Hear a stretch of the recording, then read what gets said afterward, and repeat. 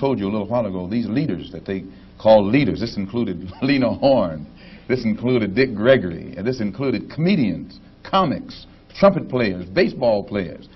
Show me in the white community where a comedian is a white leader.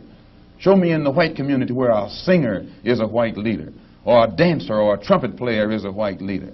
These aren't leaders. These are puppets and clowns that uh, have been set up over the white community and uh, over the black community by the white community and have been made celebrities and usually say exactly what uh, they know that the white man wants to hear. And it is an honor, actually, that they endorsed Dr. Martin Luther King and uh, uh, were against the Honorable Elijah Muhammad. That's actually an honor.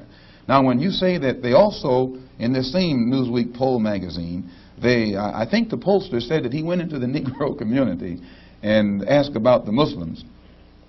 And many Negroes whom he asked said, well, I never heard of the Muslims. Who are they? You know, this, is the rank and file we're talking about. Oh, yeah. About now, yeah. when they got down to the rank and file, this was the answers that they got. Uh, this is equivalent to uh, the situation in Kenya during the Mau Mau uprising when many uh, frightened uh, whites in Kenya, Africa, would go among the Africans and ask them, what about the Mau Mau? And the African would say, I never heard of them. And the same white man who would ask the African this question and very naively believe what the African said, when he went to bed that night, he would lose his head. And usually the one who took his head was the same African who told him that afternoon he had never heard of the Mau Mau. Except uh, in the Newsweek poll, they used Negro interviewers.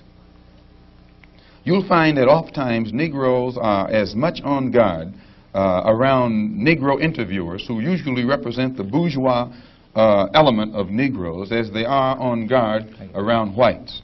Uh, usually Negroes know that when this bourgeois Negro walks through the door, he is not doing something that he's initiated himself, but he's involved in something in which the white man is the absolute author of and has sent him to the Negro community for some information. And when they give that Negro some information, usually they give him the information that they want the white want him to take back to the white man, because that's who he's going to take it back to.